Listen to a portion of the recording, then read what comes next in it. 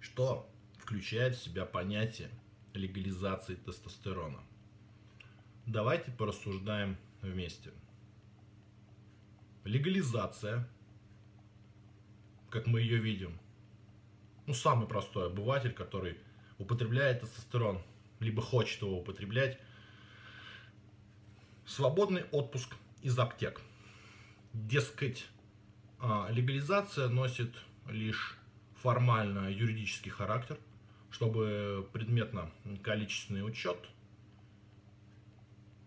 убрать, поставить просто рецептурный, как написано на всех лекарствах, на кофеин, бензоате, натрия, например, ну и тому подобное. Эм,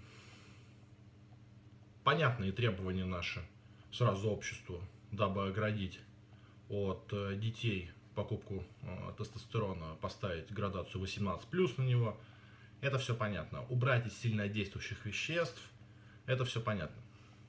Единственное, что нужно оставить, это запретить свободный оборот тестостерона э, вне аптек, э, дабы ну, не было подделок. Вообще, контрафакт, э, действительно, его просто никто не будет покупать, если будет свободный отпуск из аптек. Но и бороться нужно с другой стороны, просто запретить, чтобы тем же, хотя по той причине, чтобы э, его не покупали с рук дети до 18 лет. Пусть градация до 18 не продаем, она довольно условная.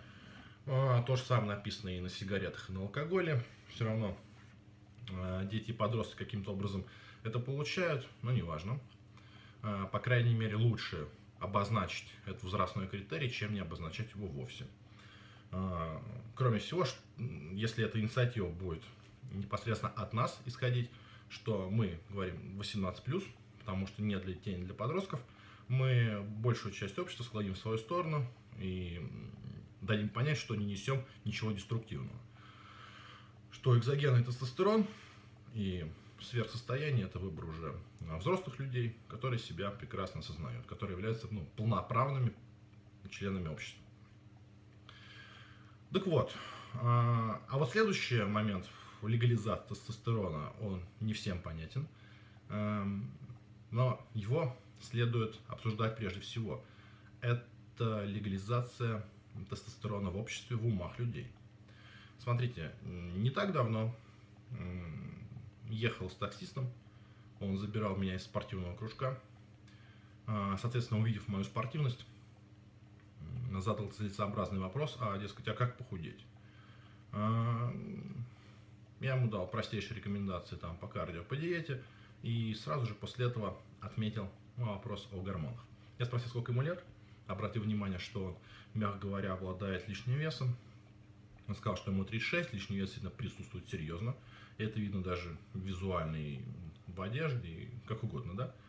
Я говорю, вот молодой человек, вам нужно провериться на уровень тестостерона и на уровень пролактина. Я ему сказал, что есть такая, как бы, не такое, такое лекарство, не такая, такое лекарственное средство, как а, кибергалин, торговое наименование Dostinex. Соответственно, принимая одну таблеточку Dostinex в неделю, мы резко роняем свой пролактин, один из главных женских половых гормонов, который мужчинам совершенно не нужен. Он и вредит. Мы повышаем эндогенный тестостерон. Он все это записал, окей, все, хорошо. А, буквально на днях я увидел его вновь, и он сказал, что, о, как раз вот у меня, он говорит про себя, а, есть знакомая в Москве, у нее своя клиника, я ей все про это рассказал, и это, это знакомая этого таксиста, эндокринолог, говорит, что действительно при понижении пролактина, кабергалина, а, через какое-то очень непродолжительное время возникает э, всплеск эндогенного тестостерона. И что это дело полезно, и вообще приезжай ко мне в Москву, и, возможно, я тебе назначу гормон заместительную терапию. Это мне сказал таксист. А, после этого я ему сказал, что понимает ли, что он значит такой гормон заместительной терапии. Он подумал, что я буду пить этот Достинекс. Я говорю, нет ничего подобного. Когда эндокринолог говорит про гормон заместительную терапию, он имеет в виду о том, что извне будет ставить, пропишет тебе инъекции тестостерона. Он говорит, ну, хорошо, тестостерон, да. Он говорит, я прочитал про него, все, как раз вот ты описываешь о том, что и жизненные краски там не такие яркие стали, и вообще жизненный тонус угас, и половая жизнь не очень, и вот хотелось бы как-то все это возобновить. Он говорит, ну, тестостерон, ну, окей. Я говорю, а ты знаешь, что тестостерон это стероиды? Он говорит, как? Я думал, стероиды это анаболики. Это цитата. Позавчера я с ним ездил. И говорит, нет, не знаю. Я говорю, анаболики – это общее название сленговое препаратов, которые увеличивают синтез белка. То есть, грубо говоря, строят мышечную ткань. Есть анаболики стероидные, есть нестероидные, например, калиоротат. Ну, в инструкции так и написано, несте, а, нестероидный анаболик. Ну, примерно так. Слово нестероид там написано, но, по-моему, даже и анаболик написано. А термин стероиды – это общее название всех анаболических препаратов. И когда пошла волна по демонизации допинга, то под стероидами начали подразумевать а, вообще все. То есть обыватель начинает подразумевать вообще все. Это инсулин, это и стимуляторы, это и гормон роста, и все-все-все. Я вам объяснил, что тестостерон это то же самое стероиды. То есть стероиды это тестостерон. И у человека практически произошел разрыв шаблонов. А что же говорят тогда это плохо? Я говорю, Хороший, блин, вопрос. Почему? Вот так вот сразу сложилось исторически. Больше никак ответить не могу. Вот.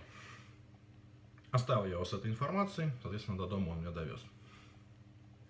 Нужно, чтобы внятно свою позицию в обществе обозначать, нужно рассказывать людям правду, что такое тестостерон что такое стероиды. Поскольку мы ничего не сможем никому предъявить, а, высказывая свою позицию, если мы сами для себя эту позицию не обозначим. Если я, вот человек, который употребляет тестостерон и другие анаболические гормоны уже долгое время, я вкладываю в это много усилий, много денег. И я хочу, как бы, чтобы общество а, принимало меня достойно, уважительно относилось ко мне. Как тот же человек, у которого, например, другое хобби. Вот он занимается, допустим, горными лыжами. Но ему выражают респект. А, знаете, а я в себя совсем не меньше денег вкладываю, нежели чем тот, который занимается горными лыжами. И мне не нравится носить какие-то ну, обтягивающие шмотки, и мне нравится еще свободная одежда, и я как бы по одежде вообще не заморачиваюсь. Э, но мне не хочется, чтобы меня считали нищебродом. Мне хочется, чтобы в обществе было понятно о том, что если вы видите человека с выдающейся развитой мускулатурой и одновременно он сухой еще, то он колоссальное количество бабок себя вложил. То есть у него человека есть деньги. То есть элементарно даже с знакомства с девушками, если они видят такого развитого а, молодого человека, значит, у него, во-первых, с головой все в порядке, у него дисциплина в голове. Потому что это строить, ой-ой-ой, как долго и как тяжело. И если ты в данный момент времени каждый день что-то собьешься, пропустишь прием пищи, какую-то инъекцию э, того же тестостерона, тренировку не так хорошо сделаешь, недостаточно становишься, ну, у тебя сразу все посыпется, ты будешь выглядеть гораздо хуже если ты не будешь соблюдать строгий э, рацион питания. Как мы знаем, те, кто соблюдает рацион питания, либо вообще хоть что-то соблюдают в своей жизни, сами себя дисциплинируют, называем, называем занимаются самодисциплиной, у них порядок в голове. Соответственно, у них есть отсутствие праздности. Значит, от этого человека нельзя ожидать, что он выкинет что-нибудь девиантное. Он внезапно напьется и начнет дебоширить или употреблять наркотики. В целом, именно такой образ созидательного, а, благоразумного человека мы должны обществу и предоставлять. И спокойно говорить, да, я употребляю тестостерон. Да, тестостерон за меня все не сделает. Но без тестостерона большинство моих усилий, ну, были бы в холостую. Это надо откровенно признать. То есть две монеты. Те, кто употребляют допинг, особенно это касается спортсменов, говорят, что тестостерон за вас качаться не будет. Э, конечно, безусловно. И то, что высочайшие дозировки а, гормон, анаболических гормонов не сделают вас атлетичными. Это безусловно так. Но даже самые маленькие, минимальные, скромные дозировки тестостерона и анаболических гормонов сделают вас атлетичными, если вы правильно тренируетесь, правильно едите и в целом у вас правильный порядок и самодисциплина в голове. Так вот, сначала нужно себе осознать, что я человек, который принадлежит к этому комьюнити, принадлежит к этому сообществу, которое употребляет тестостерон. И кроме э, очевидных положительных вещей, которые несет в себе употребление тестостерона, вы должны принимать и меру ответственности. То, что вы являетесь лицом этого сообщества. И именно по вас, конкретно по вас, будут вот обыватели судить о том, что тестостерон это плохо или хорошо. Нужно быть примером. Иначе вы ну, являетесь каким-то маргиналом. И наше адекватное сообщество, тех, кто хочет управлять тестостерон, будет вас отвергать. Говорить, он не с нами, он идиот. И такие есть люди, которые используют тестостерон, потому что их прет от вштыривания больших дозировок, они являются наркоманами. То есть тестостерон, анаболические гормоны – это состояние для них самодостаточно. Мы массу знаем тестостероновых фриков. А, они купаются в самолюбовании, исключительно только в нем. Они фотошопят свои фотографии, они пытаются навязывать себя обществу не через реальный результат, а через какие-то свои фантазии.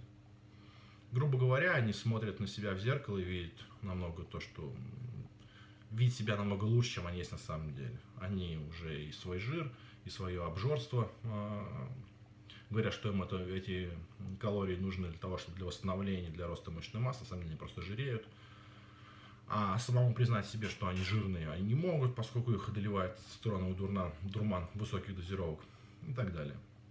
То есть вот это не с нами. А адекватные люди, которые хотят, чтобы к ним проявляли уважение, ну, вы должны это уважение заслужить, вы должны быть примером.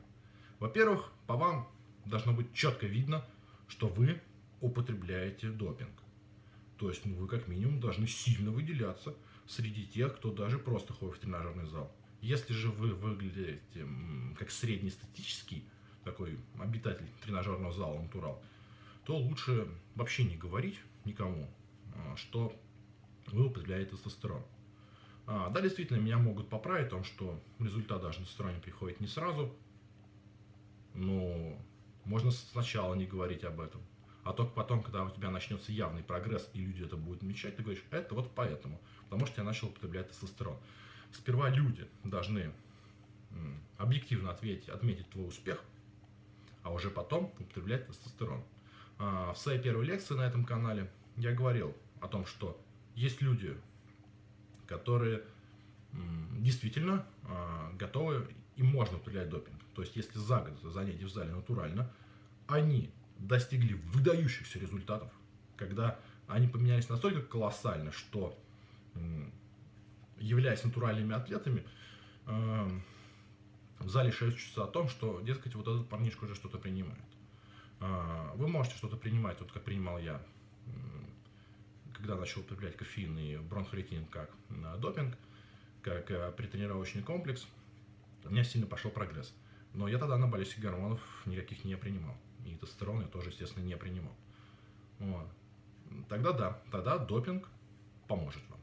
Допинг э, поможет вам и получить отличное, так сказать, мускулистое отличное тело и низкий уровень жира, э, высокий уровень жизни и жизненный тонус, респект окружающих. А, ну, если вы правильно будете объяснять еще свою позицию. Общество не любит маргиналов и девиантов, оно их отвергает. Если мотогонщик э, или стритрейсер получает в обществе, ну, грубо говоря, респект тем, что он занимается, но э, антиреспект э, тем, что он вредит, так сказать, общественной безопасности, э, с этим он ничего не может поделать, поскольку он движется дорогам, по дорогам общего пользования, и действительно он просто говорит, что я аккуратный, я очень опытный водитель и так далее но все равно до конца он это антиреспект не победит, что по, по дорогам общего пользования он есть не перестанет. А в то же время те, кто употребляет тестостерон, они не наносят никакого вреда окружающим, поскольку они делают это для себя. То есть, э, ну, в принципе, у них нет, как у мотогонщиков, как у тех, кто занимается стритрейсингом на машинах, а, у них нет а, какого-то какого устройства, с помощью которого, оборудования, с помощью которого они могут нанести вред окружающим. Если же говорить про возможные агрессивные, так сказать, или пси, агрессивные действия, психические отклонения, они с таким же успехом могут быть и у мотогонщика, и у автогонщика. И представьте, если такой человек будет за рулем автомобиля. Мы регулярно видим подобное, когда в состоянии с психи, люди с психическими отклонениями, либо находясь в состоянии алкогольного наркотического опьянения, они совершают действия, э, которые прямо э, вредит здоровью и жизни окружающих. Ну, потому что у него есть такая возможность. У тех, кто употребляет тестостерон, такой априори возможности нет. Кроме всего прочего, тестостерон, он э, делает человека сильным, он изгоняет депрессии внутренние, он изгоняет саморефлексию, инфантильность, и человек становится самодостаточным. И э, мы знаем, что большинство вот этих внезапно э, вошел в класс с пистолетом какой-то тихоня и всех расстрелял. Это только какие-то застарелые обиды, которые вот он внешне их не проявляет, потом они накапливаются, и он потом выходит на улицу первого же прохожего, убивает ножом. Был такой фильм, да, с Николасом а, Кейджем «Управление гневом». Фильм очень смешной, но очень правдивый. И его учат управлять гневом о том, чтобы он потом не сорвался и не нарушил здоровье или лишил кого-то жизни. Точнее, нарушил здоровье окружающим. То есть его здоровье это его личное дело, а вот то, что он вредит окружающим, это уже дело общественное. Кроме того, те, кто встает на путь, нужно это пояснять. И прежде всего своим... Вы, вы с кем можете, прежде всего, ваша среда. То есть я, ладно, я заявляю, публично заявляю себя лидером этого общества и сообщества. И я заявляю это на всю аудиторию, на огромную аудиторию. А, заявляю себя, ну, еще раз говорю, лидером. Соответственно, я же могу говорить э, от имени этого сообщества с государством и тому подобное. А вы можете эту тему обсуждать со своими родными, близкими, с друзьями. И вообще с теми, э, с кем пересекаетесь по залу. То есть вы заявляете, я употребляю тестостерон, это является профилактикой просто того, что я не пью, я не курю, и поэтому в голове у меня все нормально. То есть я таким образом проявляю свою активную жизненную позицию в том, что во мне отсутствует праздность. У меня порядок в голове. Человек, у которого порядок в голове, он всегда строит, а а не разрушает. Строит. И он понимает, что чисто даже экономически ему выгоднее с окружающими дружить, а не конфликтовать. Ну, вот у него порядок в голове. Поэтому, соответственно, он для общества не опасен. Он как минимум понятен.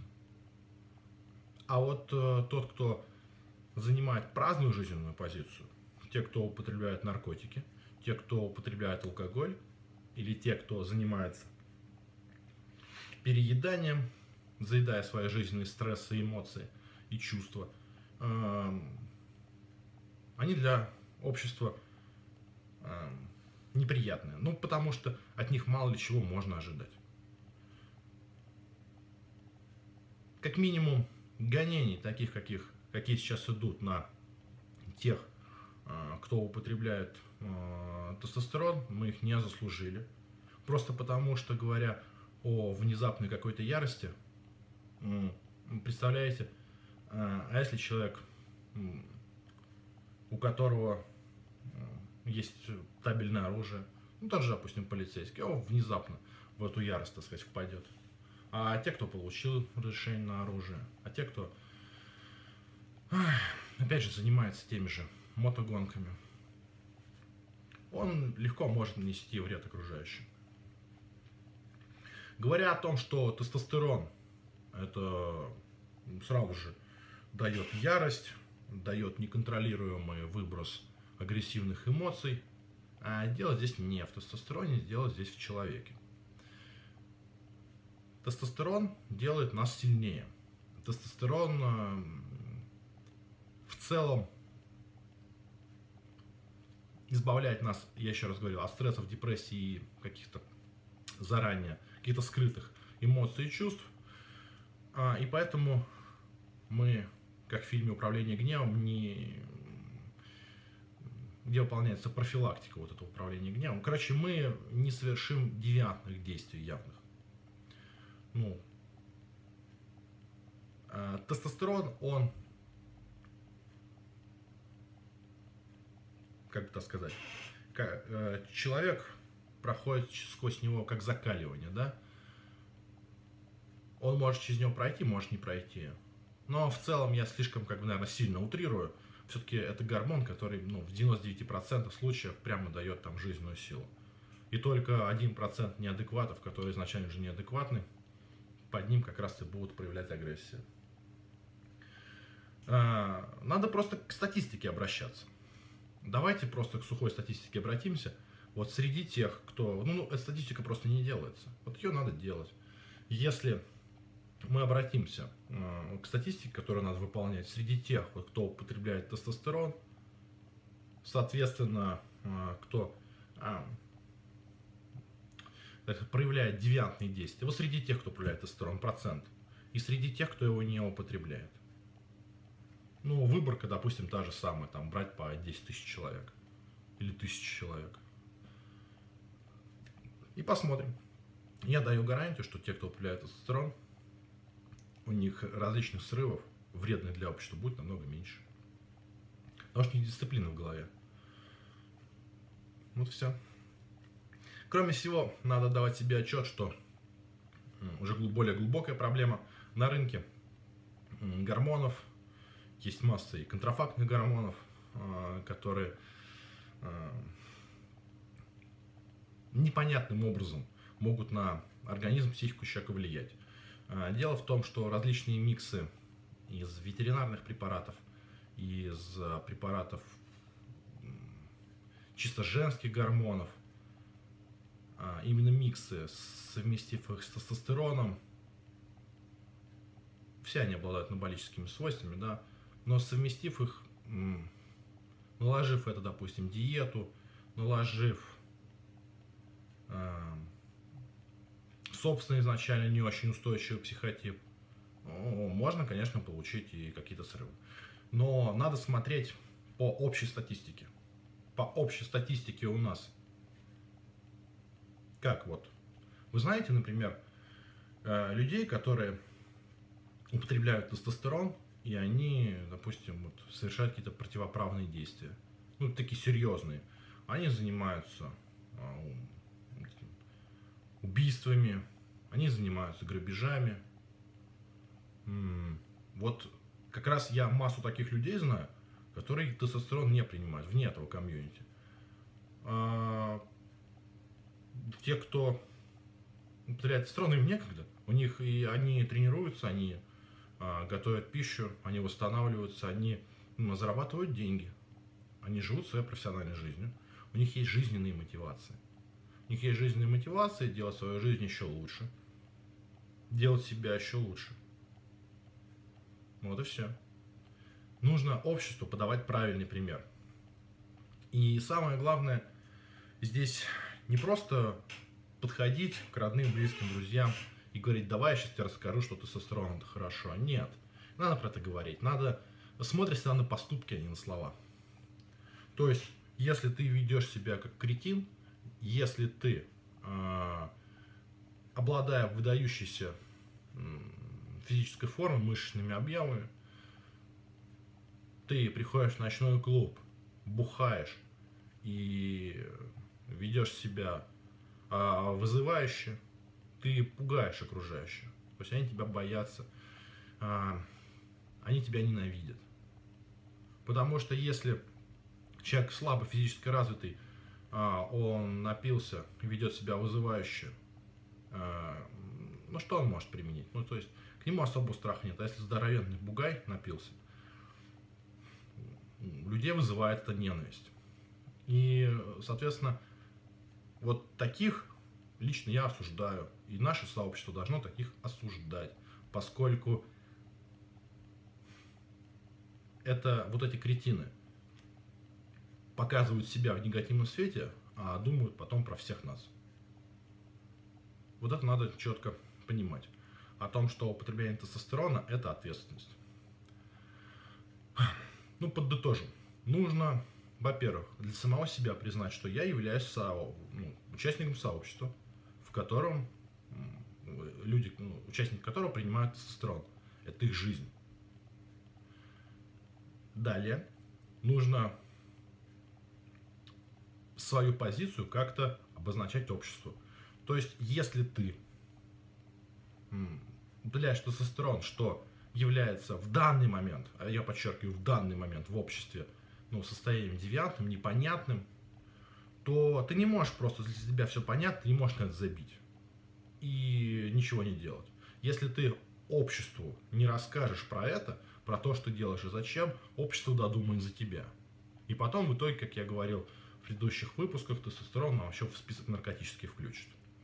Надо упреждать, проводить профилактику подобного и рассказывать э, миру, обществу о том, какой ты есть. То есть не подходить к каждому и не звонить в квартиры, как свидетели я хотите поговорить про, про тестостерон. Нет, нужно, нужно подавать достойный пример. Вот и все. А если тебя об этом будут спрашивать, спокойно и достойно об этом рассказывать. Тогда люди поймут, что те, кто употребляют тестостерон, это нормальные люди, а они наоборот дают положительный пример. Они дают пример профилактики праздности. И вот за ним будут тянуться. И это хорошо. После того, как общество в целом не из какого-то одного источника моих видеолекций, а в каждой отдельно взятой квартире по всей России, в каждом зале по всей России – вы потихонечку будете подавать правильный пример и рассказывать о том, что тестостерон это как минимум неплохо, а что если я являюсь таким же гражданином страны и у меня есть права, я употребляю тестостерон, он не является запрещенным, наркотическим, по крайней мере, веществом, ну, употребление его не запрещается, то я не несу никаких, а, ничего плохого в общество, Соответственно, я хочу, чтобы ко мне относились так же с уважением, как и ко всем другим участникам общества. Про это рассказывать, и все будет хорошо. И только тогда и после этого э, законодательные инициативы э, в областной думе, в Государственной думе, э, на различных уровнях федеральных собраний, они будут понятны для депутатов. Потому что депутаты живут ровно в таком же информационном обществе в той же самой социальной среде. И они ходят в те же самые тренажерные залы, а, в той же самой фитнес-индустрии.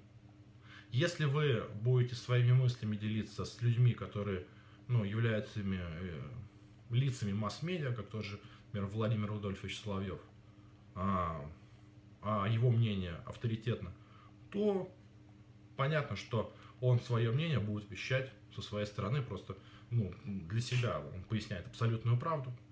То есть общество будет видеть, что Рудольфович ну, не является именно как бы для них вот не находится в сообществе там вот этих людей, которые упляют тестостерон, а просто как бы человек, который им разъяснил, что это такое.